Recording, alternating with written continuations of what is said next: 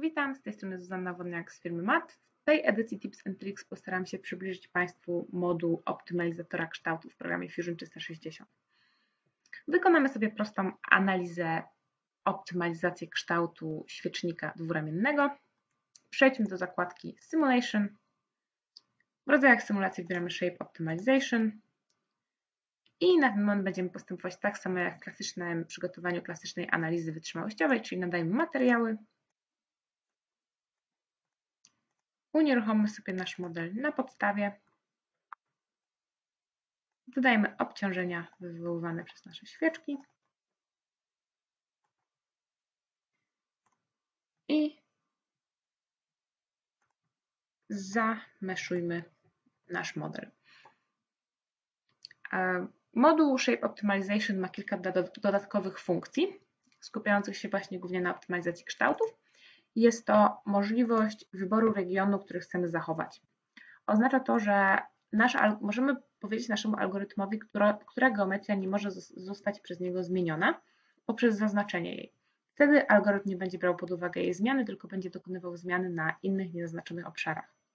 W naszym przypadku e, tymi obszarami, których nie chcemy zmieniać, będą gniazda świeczek,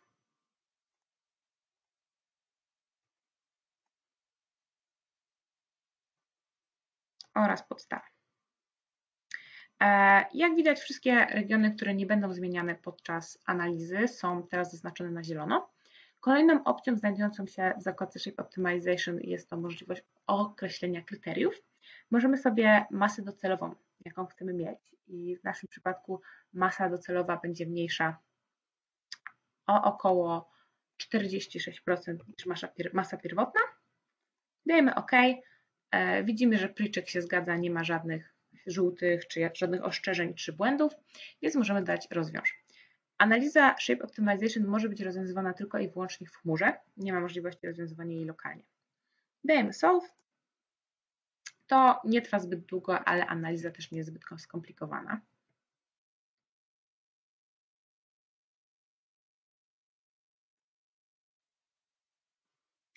OK, analiza nam się obliczyła. Jak widać, wszystkie regiony, które były wcześniej zielone, czyli nasza niezmienna geometria, w tym momencie są zaznaczone na czerwono. E, w wynikach możemy tylko zobaczyć naszą ścieżkę krytyczną, czyli pokazać, jak rozchodzą się e, obciążenia oraz jak program widziałby możliwość odcięcia naszej geometrii. W tym przypadku no, widzimy, że niebieskie, czyli tam, e, czyli miejsca, których możemy się pozbyć jest bardzo dużo, jednak zawsze trzeba uważać i nie pozbywać się wszystkich, tak? Nie możemy sobie tutaj obciąć nagle połączenia e, między podstawą a gniazdkiem na świeczki. E, dlatego możemy sobie przejechać i zobaczyć, jak to się zmienia, w zależności jaki współczynnik wybierzemy. Może zostańmy sobie na właśnie takim współczynniku, gdzie ładnie już widać, gdzie może, których obszarów możemy się pozbyć naszej geometrii. A jak już wybraliśmy taki odpowiedni wygląd, który wiemy, że chcemy się pozbyć tego obszaru, to klikamy w opcję Promote. Ona pozwala zamienić nasz model wygenerowany przez e, wyniki tego rodzaju, tej symulacji e, na bryłę. Dajemy OK. No i widzimy, że zaznaczyła nam się tutaj cała siatka. Tutaj mamy bryłę i możemy sobie modyfikować nasz kształt. Zróbmy sobie szkic na tej płaszczyźnie i wytnijmy sobie jakiś taki kształcik, żeby był ok.